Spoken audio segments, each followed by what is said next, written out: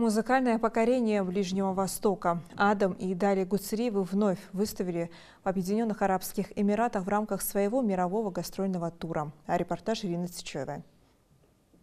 Поклонники классической музыки в Абу-Даби по достоинству оценили талант молодых российских музыкантов, пианиста Адама Гуцериева и его сестры виолончелистки Дали Гуцериевой, выступление которых состоялось на сцене дворца «Мандарин» Ориентал. Талантливые Адам Гуцериев и Дали Гуцериева продолжают свой большой гастрольный тур. Их выступления уже состоялись во многих странах СНГ, Ближнего Востока и Европы. На состоявшихся в Объединенных Арабских Эмиратах концертах Адам Гуцериев представил на суд зрителей сложнейший концерт Бетховена, а его сестра Дали Гуцериева выбрала для исполнения концерт Гайтна для виолончели с оркестром.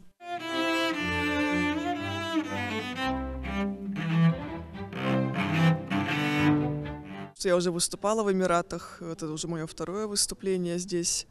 Ну, в Абу-Даби первое, а в Эмиратах в целом второе. Но и что тогда, что сейчас, я очень счастлива и рада. Со второго раза всегда полегче, но как расслабляться нельзя никогда всегда будет волнение, всегда будет и вот, волнение, и переживание, но в целом все хорошо. Я очень рада, что мы с ним снова сыгрались. Я надеюсь, что у нас еще впереди будет очень много вместе совместных концертов. И все было просто великолепно конце 2023 года российские музыканты вышли на сцену золотого зала Music Ферайна в Вене. Также в прошлом году они выступали перед зрителями в Объединенных Арабских Эмиратах, где приняли участие в юбилейных концертах маэстро Владимира Федосеева в Дубайской опере. Их талант не остался незамеченным, а до медали Гуцериевы получили предложение снова выступить в Эмиратах. На этот раз музыкантам предстояло выйти на сцену знаменитого дворца, где были запланированы сразу два концерта. Это будет концерт с Филиппом Чижевским, прекрасным дирижером, с которым я играл в Каире. Поэтому ожидал только лучшего, это лучшее и произошло. Огромный зал, прекрасный зал, акустика хорошая. Ну, не могу сказать, что она идеальная. Идеальной акустики, я не думаю, что где-то бывает идеальная акустика. Тем более, я как понял, он не совсем для подобных концертов изначально и строился, этот зал. Но мне понравилось он.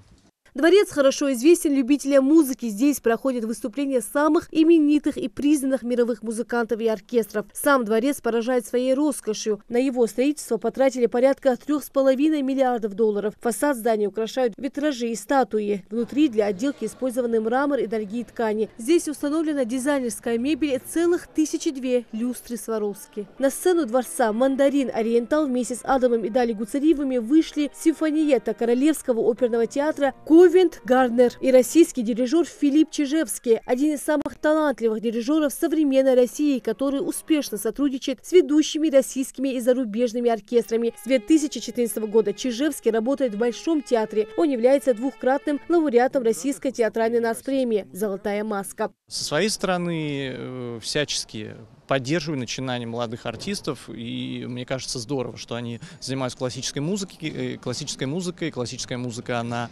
а, дарит, э, безусловно, какие-то э, очень тонкие и здоровые эмоции. Даже если они больны, то они все равно здоровые. Эта боль, которая есть в музыке, она э, трансформирует и артиста, и слушателя.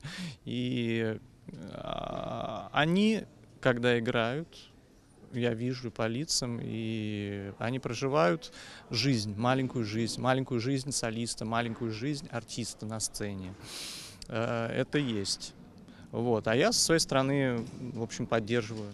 Адам и Дали Гуцериева – талантливые российские музыканты, за плечами которых, несмотря на их юный возраст, множество наград в престижных конкурсах, а также огромное число выступлений на самых востребованных площадках мира. Лида Сычева, Магаз 24.